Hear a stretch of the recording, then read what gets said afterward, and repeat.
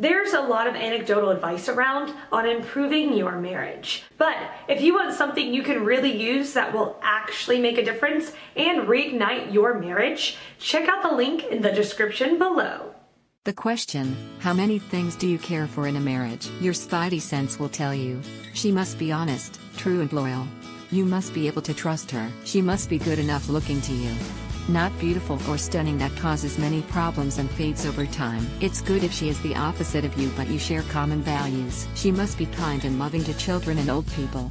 People who can't be of any help to her. She must be affectionate. My wife was 28 and I was 33 when we got married.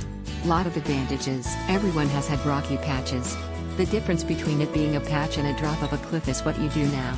Check the link in the description if you want a helping hand.